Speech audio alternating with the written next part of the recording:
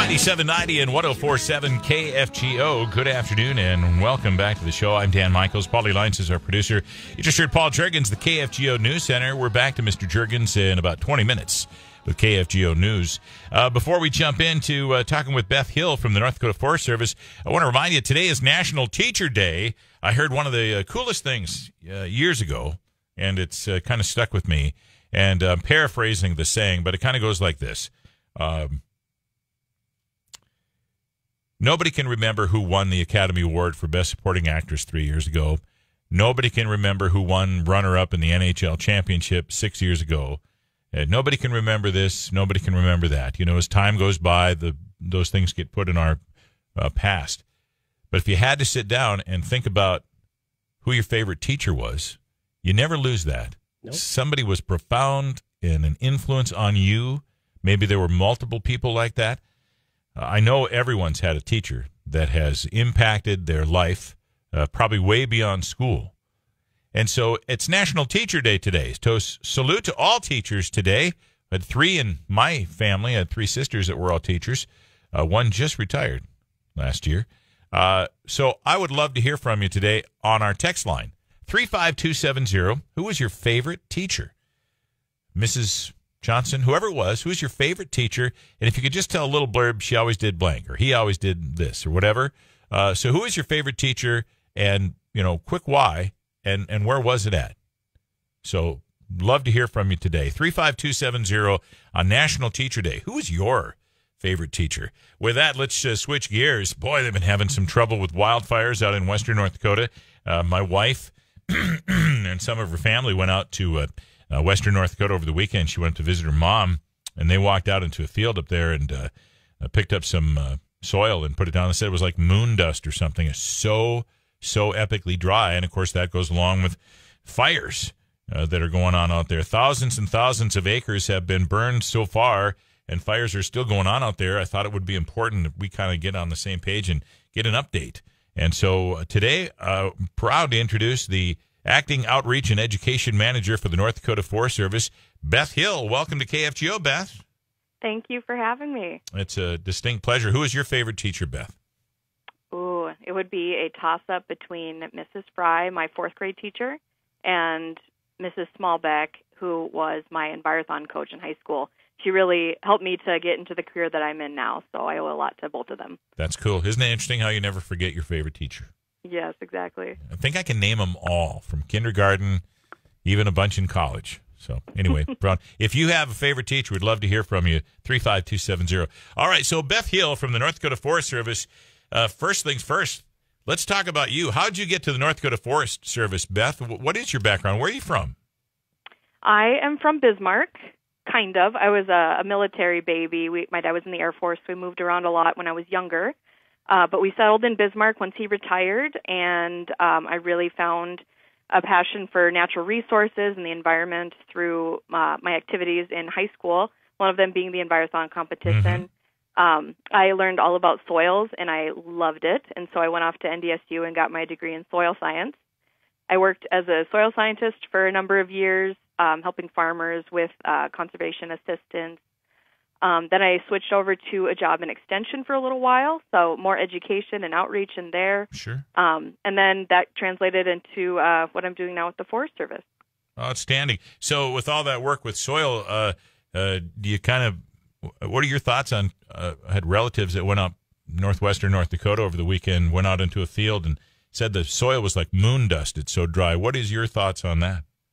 Yeah, it, we are experiencing a, a pretty severe drought over here in the western part of the state. It extends through almost the entirety of North Dakota. I know the southeastern part has been a little bit more fortunate and gotten some rain uh, that has uh, gotten down into our soil moisture, but for the most part, we are very dry, and um, I don't foresee much reprieve from that, unfortunately. But we are definitely, as North Dakotans, are a tenacious bunch. Um, we will find a way to make it through, but uh, it's just uh, a, a test in resiliency, and um, that translates to our wildfire activity as well. Um, correlation doesn't equal causation with drought and fire, but because we had such an open winter, we didn't have a lot of snowfall. Um, that snowfall usually packs down our grasses, because we went in dry in the fall. It was uh, it dried out our grasses. We didn't have that snowpack to put them down, so they're standing all across the state um, and really dry and easily caught if we have a heat source that acts upon it. So very important for all North Dakotans, even if you live in that really fortunate part of the the southeast part of the state. Uh, fire prevention on everybody's mind, making sure our activities, uh, recreation outside is doing as much as we can to prevent wildfire. So when we're outside, let's all really try to be as careful, more careful than we've ever been before. Uh, boy, uh, especially if you've got a campfire. We can still have campfires right now. You know, it wasn't too, too many years ago where we had a ban on them. I could see that uh, happening again, uh, perhaps after Memorial Day, at least in some parts of the state. So let's be super, would, super careful. Go ahead. Oh, I would definitely check the burn ban in your local area. I know some counties do have a total burn ban, which would uh, prevent people from doing any sort of open burning like a campfire. Okay. Um, that is county by county, so definitely check out the ND Response website to see what the specific restrictions are in your county. There are some that are based on the fire danger that day. Um, there's a map there that shows that too. Um, just trying to guide people on making smart decisions when we're recreating outside. NDresponse.com? .gov. .gov, excuse me. ndresponse.gov. I'm going to look that up while you're talking next year. Yeah. Uh, so get us up to date. Beth Hill from the North Dakota Forest Service. What's it like out there? Uh, what are our, give us an update on the fires. Where are they burning? Yes, absolutely. So there are currently two fires that are active in the state. Um, I'm sure you guys talked a lot about it over the weekend. We have the Roosevelt Creek fire, which is going on in Billings County, and we have the Little Swallow fire, which is out by Mandaree. Um, for the Roosevelt Creek fire in Billings County, we currently have 80% containment and about 4,600 acres burned for that one. And for the Little Swallow fire near Mandaree, we are reporting 75% containment and about 9,800 acres. So quite large fires. Um, we are looking at pretty good containment on those. Um, I think the crews expect to have full containment here in the next couple days, provided that uh, conditions stay good. Um, as far as total number of fires in the state, uh, that's a kind of an exciting update for us. Uh, the Unified Command for Wildfire in the state is just a bunch of agencies that work to respond to wildfires in North Dakota. We have had a number of different reporting systems. Um, some of those have lags in reporting, and not everyone reports to both of them. So, what we had been working on is putting together an internal dashboard for us to get a, a more comprehensive picture for number of fires and acres burned within North Dakota. So we draw from WebEOC, which emergency managers use to report incidences, and then the North Dakota Forest Service emergency reporting system, and a couple other methods. So, with those things in mind, we are looking at a total of 807 cumulative fires for the year 2021 so far, wow. which is a lot. yeah. And we are looking at a cumulative acres burned of 78,329 acres. Wow. That's incredible. So you talked so 78,829 acres have burned so far? 329. 329. 78,329 acres with 807 fires and how many total fires are burning right now? Just two Those at two. the moment. Okay. So uh, that's incredible. Uh, is this impacting travel for North Dakotans right now? Not to my knowledge right now. I know over the weekend we had a couple other fires that constituted some evacuations of the area or closed down part of Theodore Roosevelt National Park. But to my knowledge, those have opened back up and people are back in their in their cities. Are you able to get enough help in this situation? You have enough firefighters? Uh, is there a way for citizens that are listening to this, if they can help, can they? The best thing that everyday citizens can do is to prevent fire at all costs. Um, I know that a lot of our firefighters, the majority of firefighters in the state, are volunteers, and so we really thank uh, their diligence and their willingness to help. Um, in these situations, we have a lot of uh, partners in the state that respond to these type of fires as well, like the North Dakota Forest Service. We have engines and crew that go out and assist the local fire departments when we have uh, large scale fires happen, like the ones that did over the weekend. Um, but really, the best thing that people can do is to prevent fires. So we have our volunteer firefighters and other firefighters um, not stretched so thin. Speaking of our firefighters, how how are they doing? Is there anything we can do to help them?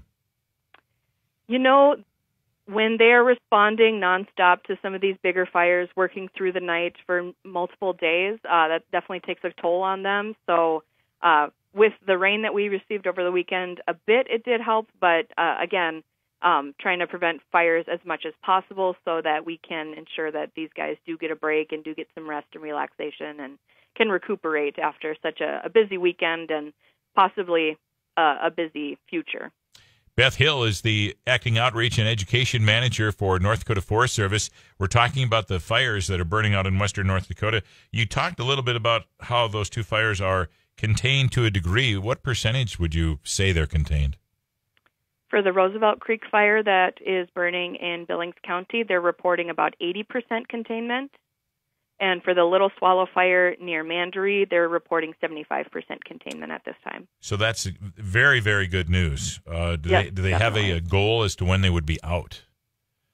Um, I was told the next few days. They're they're optimistic about that. Okay, and I know it's going to take a bit, but uh, have to ask the question: Do you have any idea how these fires started? I know that they are currently looking for the cause, but at this time I don't have any additional information about that. And you know, Beth, in, in these conditions, it could be a spark from underneath a truck that drives by. I mean, it could be vert- it could be a lightning strike, it could be anything since it's so dry, right?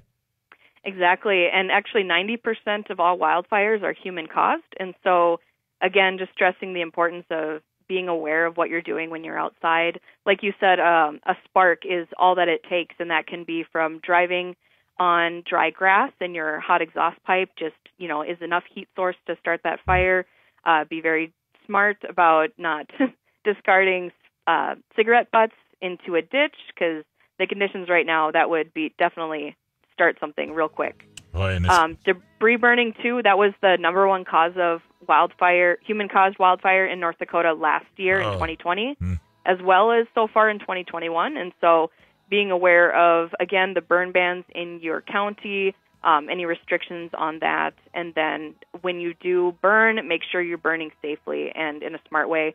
Making sure if you are outside, uh, have a fire extinguisher and a shovel nearby. Um, just a lot of things that we can keep in the forefront of our minds to prevent wildfire. And I'm on that uh, page right now, the burn ban restriction page. Areas that are in gray have burn bans and restrictions in effect.